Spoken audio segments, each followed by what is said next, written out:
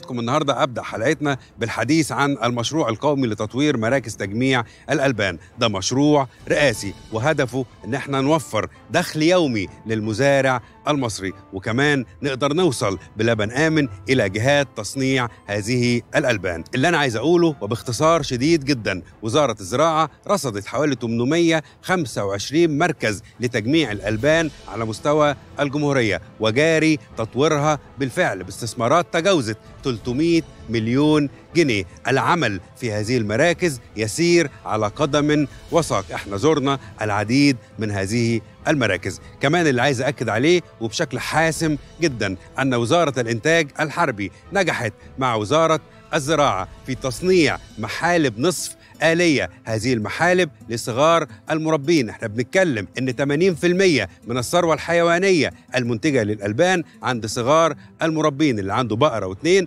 وعشرة بالكثير. هؤلاء المربين. هنوفر ليهم محالب نصف آلية متنقلة يعني ينقلها من بقرة لبقرة. الهدف أن النقطة الحرجة اللي عندنا ليست فقط هي مركز تجميع الألبان ونقله للمصانع ولكن النقطة الحرجة الأصعب وبشدة هي نقطة الحلب يعني مرحلة الحلب في بيوت وحظائر صغار المربين للثروة الحيوانية في القطاع الريفي المصري. إحنا بنتكلم في مشروع قومي وبالتالي يجب أن تمتد خدمات المشروع إلى كل سلاسل إنتاج الألبان بداية من صغار المزارعين وحتى مصانع تصنيع هذه الألبان. وشفنا قبل كده إزاي قدرنا نطور أحد مصانع الجبنة في مصر عشان يقدر يستقبل ألبان صغار المنتجين من مراكز تجميع الألبان. كمان وزارة الإنتاج الحربي نجحت في تصميم إقساط للألبان من الستانلس ستيل كلها معمولة حتة واحدة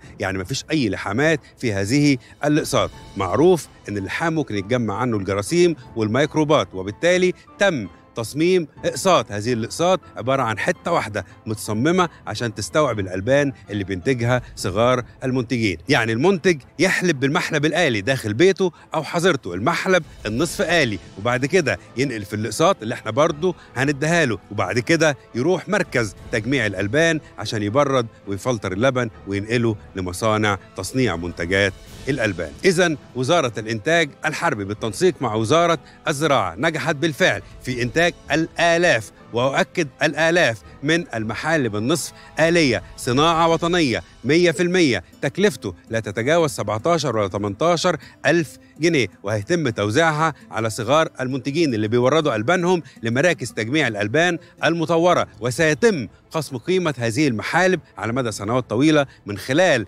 توريد الألبان لمراكز تجميع الألبان من صغار المنتجين. أيضا يمكن تقسيط إقساط الألبان المصنوعة من الستانلس ستيل في مصانع الإنتاج الحربي وتم توزيعها بالفعل على مراكز تجميع الألبان المطورة. اللي هيورد هياخد محلب نصف آلي وهياخد كمان اقساط ستانلس ستيل عشان نحفظ هذه الألبان. هذه المنظومة كان يجب أن تتدخل فيها الدولة منذ سنوات طويلة جدا. كل التحية للقائمين عليها. خليكم معانا